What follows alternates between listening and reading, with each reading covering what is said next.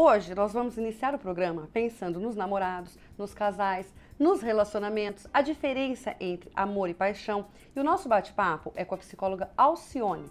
Assim, a gente pode entender um pouquinho mais sobre todos esses sentimentos que fazem parte da nossa vida, do nosso dia a dia e que mexe muito com o nosso coração, com a nossa cabeça, que nos faz rir, que nos faz chorar, mas independente de qualquer coisa, o importante é amar. E que hoje, que neste sábado, todos os casais estejam iluminados para declarar um para o outro como é grande o meu amor por você. Bom dia, Alcione. Bom dia, Gostou Maíra. da minha introdução? Inspiradíssima. Hoje tô inspirada, né? Inspiradíssima. Bom. não precisava nem falar mais nada. Não, lógico que precisa, porque agora você que vai dar essa base pra gente com toda a sua experiência de consultório. Vamos falar então em relacionamento a dois, tá? Não existe uma fórmula, uma, uma cartilha, né, uma receita que a gente possa seguir. Mas você, com tantos anos de experiência, e você escuta ali, né, sobre as queixas e tudo mais, o que, que dá para diferenciar qual seria o ponto da questão de um bom relacionamento entre esses casais que ficam juntos o resto da vida, né? Bodas de prata, bodas de ouro, até que a morte os separe. E esses casais que se separam tão facilmente, facilmente com filhos ou sem filhos. Dá para você dar uma introdução nisso pra gente? A gente sempre coloca assim, né, Maíta? Existem algumas bases, a gente fala que é um tripé, né? Existe um tripé que é básico para a saúde de uma relação a dois. O primeiro tripé é, é pensando em relacionamentos mais duradouros, que vão para o estabelecimento do seu núcleo familiar, né? Então a gente sempre fala assim, deixai pai e mãe. né? Então, o casal que fica excessivamente aprisionado ao seu núcleo de família anterior não investe toda a energia psíquica necessária Olha, ao núcleo atual. isso? Começa aí, começa aí. Então, aquela mulher que ainda tem como melhor amiga a mãe, a irmã e não o marido. Aquele marido que tem como parceiro o grande amigo, né? O pai, o irmão e não a esposa. Aquele casal que nas situações mais sérias, mais graves, sempre vão recorrer à família de origem, tá? Então isso desfavorece excessivamente, vamos dizer assim, essa base que precisa ser um ponto de partida para o estabelecimento do seu novo núcleo familiar. Eu brinco com os casais dizendo assim: é, deixar pai, e mãe, que isso é bíblico, né?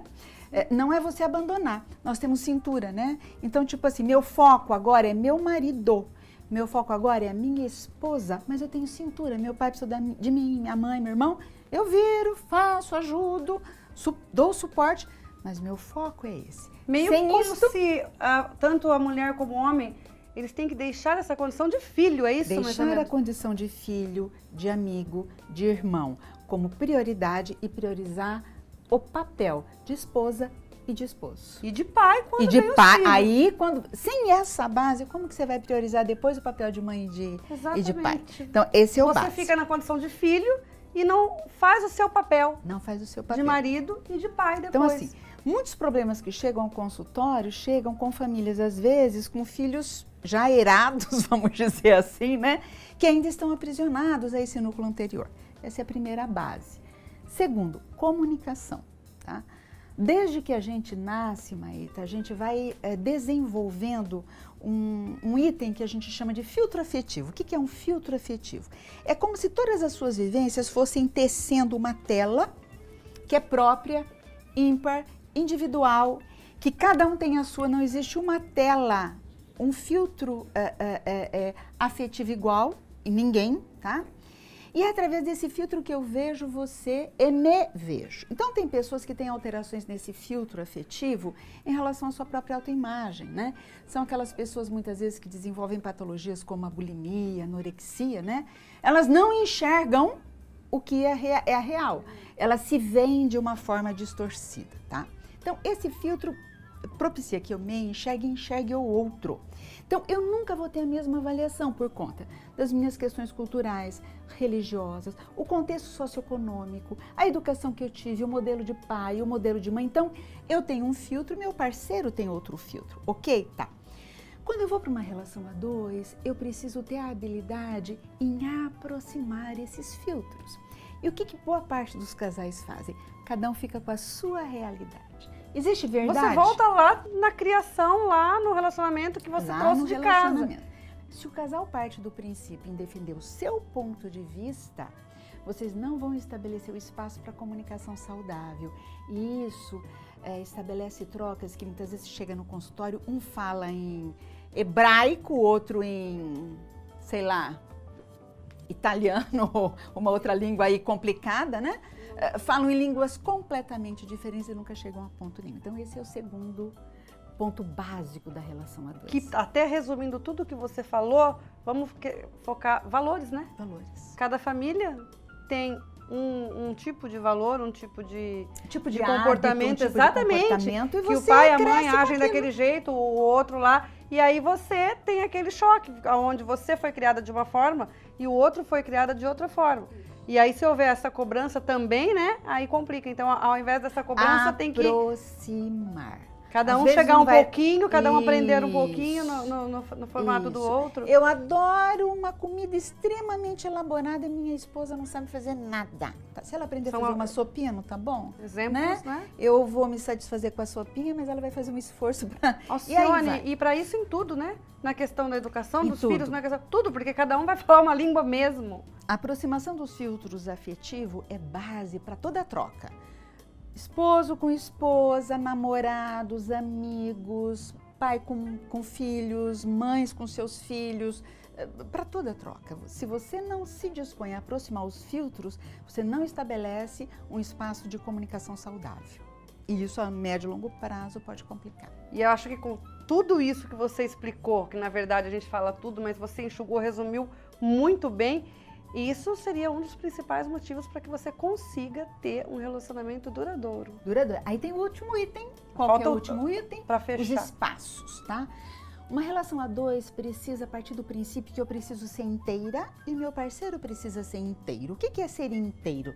Te amo, é uma delícia estar com você, mas eu vivo sem você porque eu também me amo, porque eu tenho uma série de coisas que me dão prazer. Então, primeira coisa, as pessoas precisam ser potencializadas a nível individual. Segunda coisa, então, isso abre espaço para o espaço individual. Na relação a dois, eu preciso ter espaço individual, que eu estou comigo, meu parceiro está com ele. Segunda coisa, eu preciso ter habilidade em abrir espaço para o casal, tá? O que, que, é o espaço do casal? O espaço do casal é o que eu gosto de fazer com ele ou com ela.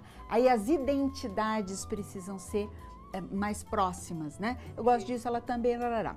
E num terceiro patamar, esse casal com, a, com as famílias, com os amigos e depois a introdução dos filhos aí, que seria um outro item dos espaços. Então, quando o casal respeita o espaço individual, investe no espaço da dupla e tem esse espaço numa troca mais ampla, isso mantém a saúde da relação por muitos anos.